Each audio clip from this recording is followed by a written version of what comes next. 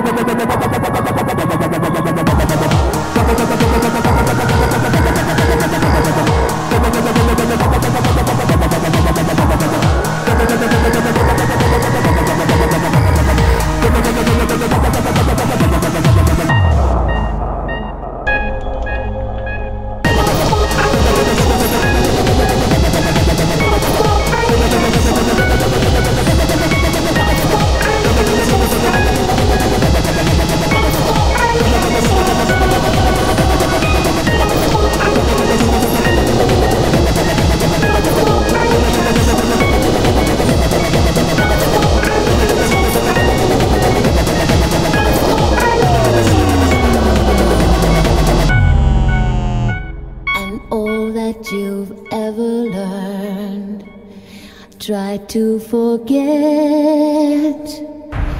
I'll never explain again.